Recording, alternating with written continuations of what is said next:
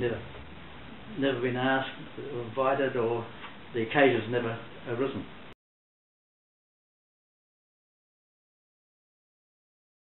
Well, it does actually. Since you rang, called me on the telephone, I've been thinking about it, and it's amazing the things I've recalled. You know that I hadn't thought about for sixty or seventy years, probably.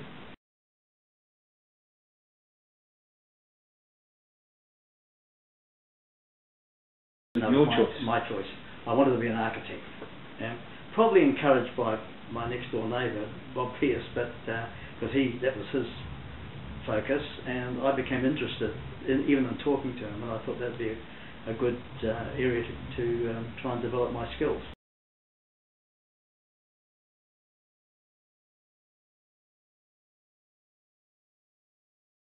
Well, I had a lot of interest in building itself and uh, the history of building and architecture. That became a sort of a not an obsession, but certainly an interest outside of my sporting interests and things like that. And, uh, and I thought it'd be a good good way to get a sort of a basis for my further career, future career.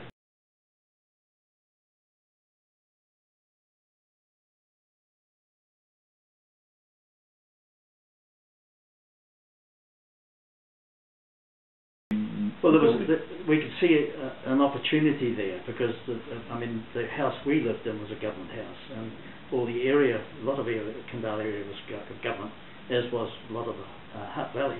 But we could see that uh, in my mind that was had to be a, an opportunity, either building or architecture, one one or the other, and uh, so that was my focus at that time.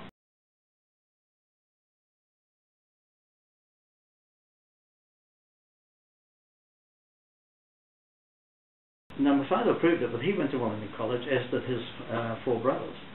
Um, in fact, my almost the whole family went to Wellington Boys College. I, I'm talking my father's brothers and, and their, their kinfolk. So it was a departure from the usual Tonks, although Gary Tonks, of course, as you know, went to Wellington Tech, but I didn't know that until just the other day, as a matter of fact.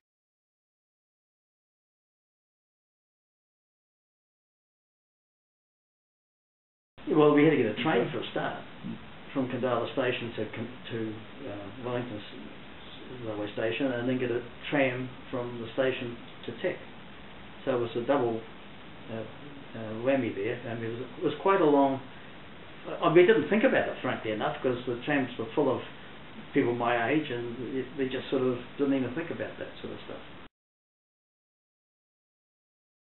But but, but our uniform, I'm not sure what it was later, but our uniform was navy blue in Tech when I went there.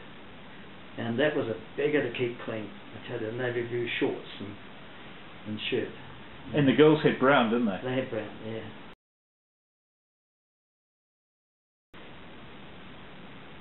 Not exactly the first day. Uh, I th- that'd be a hard one for me to get back. I hadn't even thought about it, matter of fact. But um, I know we were taken into the building um, um, workshop area and, shown around the school. I can remember that quite clearly, but I can't remember much else about. Oh, we were told we were on the, we were in the um, had assembly and given the sort of a lecture on what was required of us, and then taken outside and all the houses. We were put into houses at that point, and I can remember that was in the first. I'm not sure the first day, certainly the first week.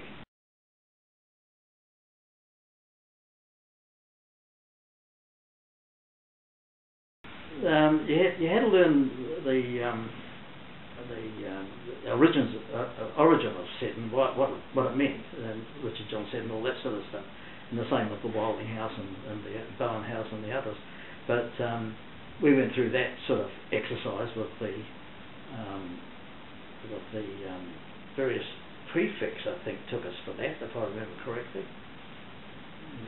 I'm talking about the Seddon pre- prefix of the Seddon House. Yeah,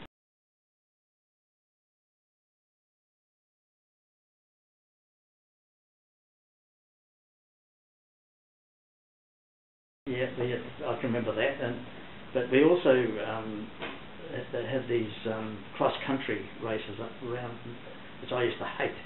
But I've been, I do most sports, but cross country running wasn't a favourite of mine, and uh, we used to have to run right around Mount Victoria and come right back to Tech again, and that was a, uh, always a problem for me. You know, I didn't enjoy that at all.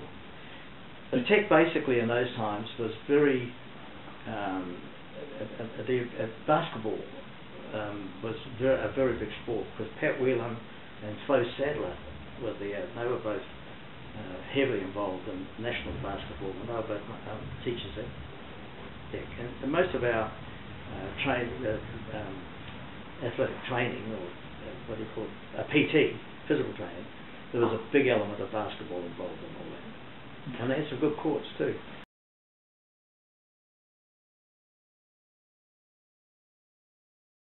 Very much so. I mean, uh, the, the girls actually really made a name for themselves at Tech, more so than the boys.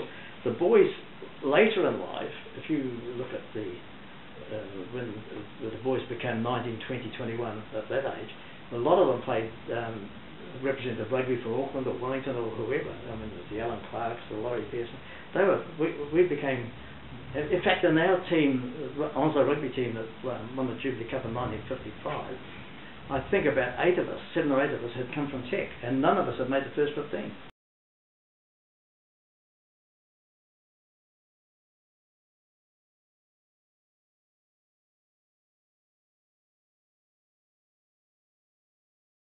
I didn't play for, uh, no, I played for the school uh, uh, in a couple of lower grades, um, and I played in the first 11 for one or two, on one or two occasions too. But uh, uh, uh, I've always really wanted to go back to the club. I had no no real incentive to play for the college, and there was a lot of people like like me.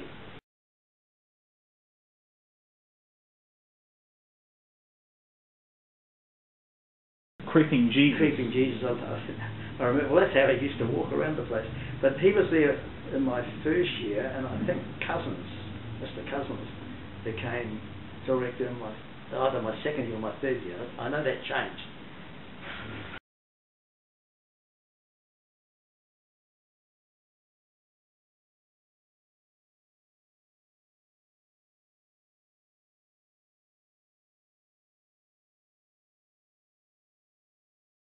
Very much so. We had a hymn book, and um, and it was pretty vigorous sort of singing too, but because you you were sort of encouraged to do that. But that was exactly what happened. He, he the director was the director, and uh, and well respected. I can say say that.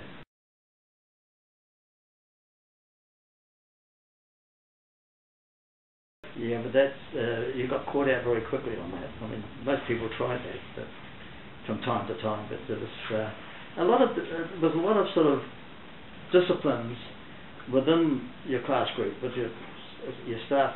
Um, every every um, class had its own class monitor, which I happened to be one in this first and second year. He, he was sort of um, not a prefect, but he was. You had a badge, and you were sort of. Uh, you, you became the sort of spokesman for the for the class, and uh, and, and in charge of not so much discipline, but you sort of kept an eye on people if they were misbehaving. You sort of had a little word to them. That was part of your responsibility. But if, if something had to be done um, collectively in the school, all the class monitors would meet of that of that particular age group, and it, it was quite an interesting. You weren't called down a hell of a lot, but they it certainly was a a, a um, uh, status sort of situation. It was quite a. It was. If you're, I, I haven't. I'm not sure how we we got there. Whether we were elected or the form master appointed. And I have no idea. It might have been the latter.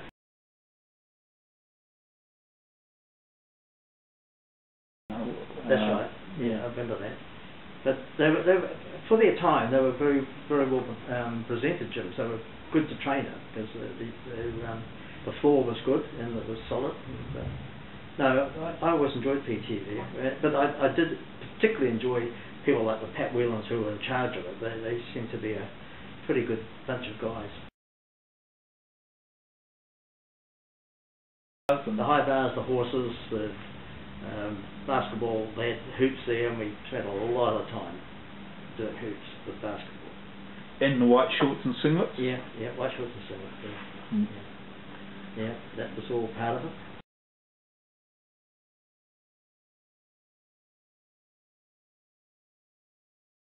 That was Yeah. yeah. that was a that was a, a, a real shame. It curtailed my last year at Khandallah School, and I was one of three people running for the um, um, Duxville School, and that was just. I mean, you were there one day and gone. I mean, it just closed. I mean, we didn't know it was closing. It was closed, and I don't think we started again in Tech till March, I think. And, but we had correspondence school, and that's where my, my um, neighbour Bob Pierce, he'd been through all that, so that was a hell of a help for me because it was all foreign to me that the building architecture type um, study.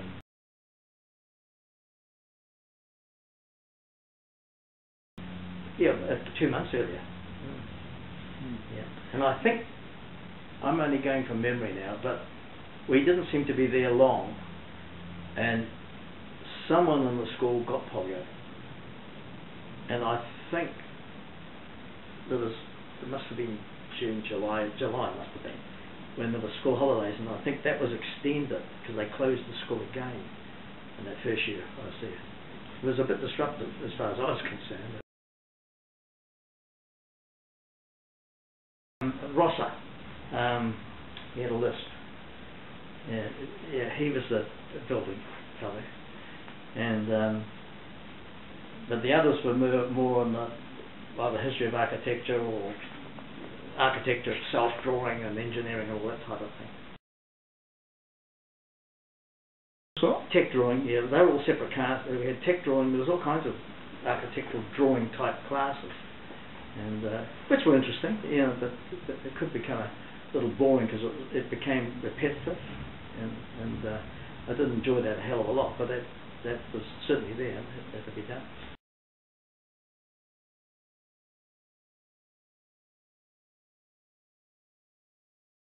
Yeah, uh, maths was probably my best subject right through my school career. And we, in my second year, we had a, I think he might have been our form master, Jim Bateman, and he was absolutely outstanding. And he also took a lot of sport, but he, youngish guy, but he had our whole class eating out of his hand. And he, I mean, my marks in that second year were probably as high as I've ever got anywhere. And uh, but it was I, I, he made it interesting, but he was also a tremendously good teacher. He also coached my rugby team, and I was taking that second year, and um, we, we we got to know him pretty well and his family because he used to have functions at his house, and this is quite unusual in tho- those days. But uh, but he was a very very good master. I don't know. It, it, my father was good at maths. My brother wasn't so good, but um, but it was always was one subject I always liked to get stuck into, and, and algebra was one of my best subjects, and most people couldn't even understand it. And uh, yeah. don't ask me to do it today because I couldn't do it, but but al- al- algebra and geometry and uh, arithmetic itself were always very strong subjects for me.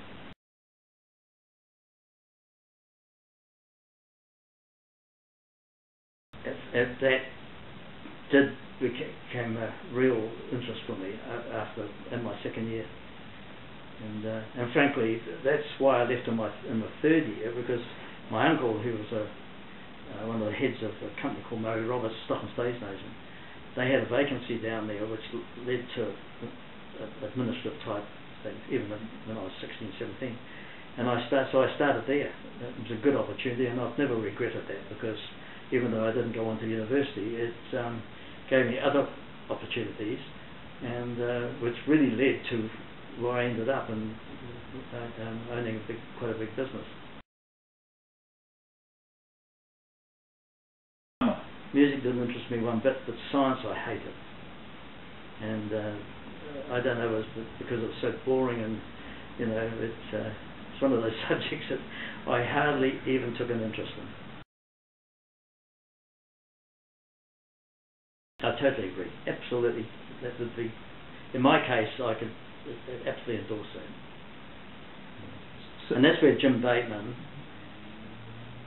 it, it wasn't just um, the relationship in, the, in that particular form I went in arithmetic, uh, maths I should say. Um, but he was interested in, he got interested in a few of us and really encouraged us to do things. In fact, I took a real bath from him and I told him, he was the first person I told I was leaving.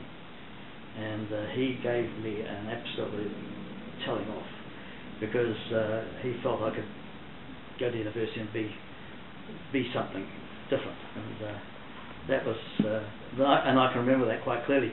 And this was a one-on-one, and then we went back into the classroom, and he gave us all a lecture. But and And I, you deserved it? I, well, I didn't like it at the time because I felt I was doing the right thing, and as it proved out, I did do the right thing because I wouldn't have been where I am today if I hadn't. But um, but my whole life would have been something different, completely different, if I kept on going in the area. Because I think I'd have ended up in an accounting type role rather than building architect.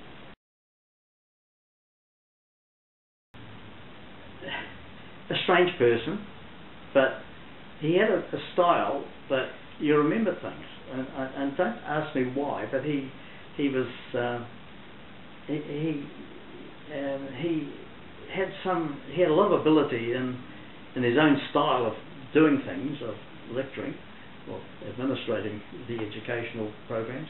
Um, but I always did well with him, and uh, so. He, he, he, he was completely different from any other master I've ever had in my life, or any other teacher I've ever had in my life. Uh, but it, we used to, uh, he was OE, but there was two Burtons there. There was him and another another Burton, uh, both as masters at the same time. J.V. Burton. J. Burton, yeah, And he was in charge of social studies. social studies, yeah, and he was um, he was inclined to be a bit boring, and uh, it, must, it didn't sort of um, attract a lot of interest from our our class anyway.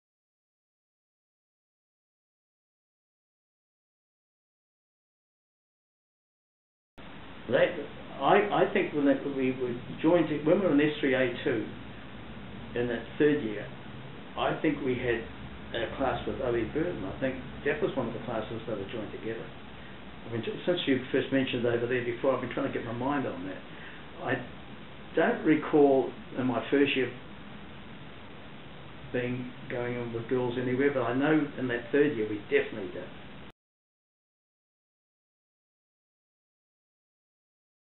I did one play. Uh, I was in, uh, I think it might have been Pirates of the Penzance. But they did at least one production per year, probably two. And uh, uh, which was, but they did it really, really well. You know, with the, the dress and the and, and the uh, the um, I forget who, which master led that now, but whoever it was was very much in their element as an art teacher. Clement Howe, it wasn't Clement Howe. Clement Howe was an older guy, um, and I found it very difficult to follow. Might I wasn't a hell of an interest, but very difficult to follow. He was very much the musician. I remember him quite well. He was a shortish, oldish fellow, and uh, I can't remember who did the, the actual plays themselves. He possibly wasn't included. He, he may well have been in there, but doing the music part of it. In fact, I say he must have been, but I hadn't noticed him there. But there was someone else that actually led that, and, and um, you know, just for the moment, I just can't recall who that was.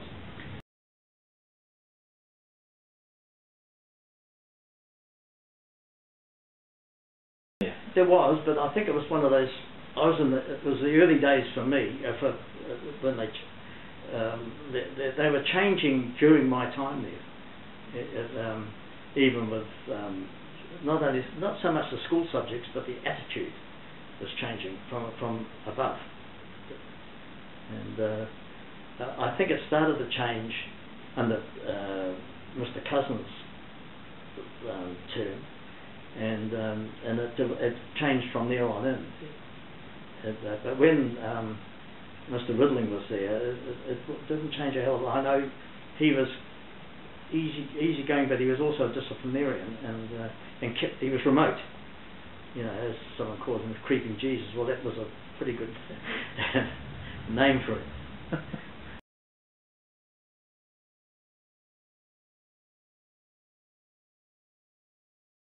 mean, I think the, it's a funny memory, but the cafeteria, all the uh, food was made by the um, girls that were there. And I I remember the sandwiches went up from one, pen, one, one, pence to two pence for a full sandwich. But um, but uh, I, I was always uh, buying lunches there was a, they were nice too. I mean they made good good stuff. But it was the cheapness of everything, and that really appealed to me at the time because I had no money and my family didn't have a hell lot of money. And uh, so, so you get a dash good lunch for you know sixpence or something like that. That would buy you a real bonanza.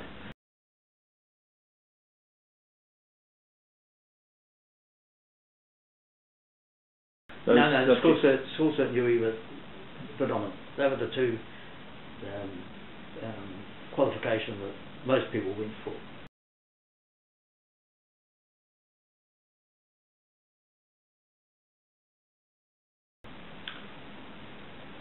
Probably, although the company, I know I started off with Murray Robertson Company, but then um, they had an American company agency for sausage casings. That's how I got into that business. And that American company wanted to start themselves rather than go through agent, and patient agency. And they asked me would I join them, and that was probably the key to my life because they ran their own internal um, educational systems for young people like myself. And um, and the, and that's where I really got into accounting in quite a big way because their systems were so much ahead of New Zealand accounting, commercial accounting at that point, were, they weren't funny. So they made you go through courses, and not only practical courses in the um, field I was in, which was sausage casings at that point. You had to work in a factory for six months in Australia, and then I had to go to Montreal for three months and things like that. And then there was a couple of older people here that worked for the American company, um, and they took me around for probably two years, and then then then I became a managerial protege, and I had to go to the States for educational courses and all that type of thing. So it really gave me a formal education which I had missed not going to university.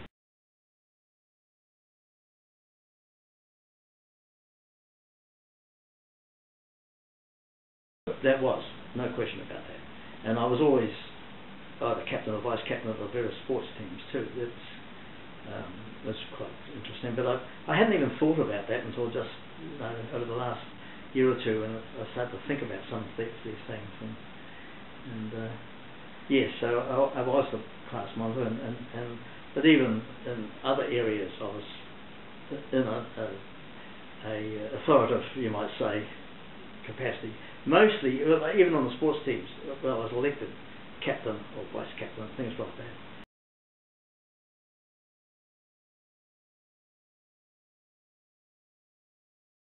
I'm, I'm, I think it's probably the way you're brought up in the, in the, because my father made sure that my brother and myself were self-supportive, and, and uh, I think that had a hell of a lot to do with it.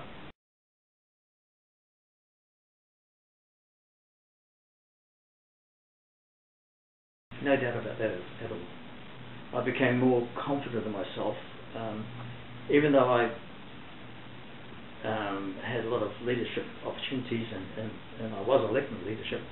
I wasn't totally confident that I was doing the right thing at the time, but I, that three years I grew in stature, and that then the following three years with the working for the Murray Robertson company, then the American company. Uh, the American company did probably more for me than any any just brought gave me more confidence to do things.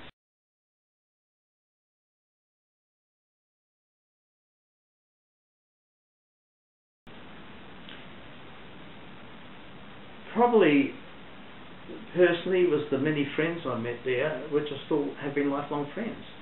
Uh, that's really stuck with me, and uh, um, doesn't matter where they come from. Uh, that uh, there's been a huge, there's been a huge part of my life, and that's why, and a couple of other people, uh, George Blair and Bruce Heather and co. That's why we've been so keen, and I've been so keen in pushing reunions. Uh, and I'm, I'm only 83 now. We're still having reunions of teams that we played for in 1945, 46, 48, 50.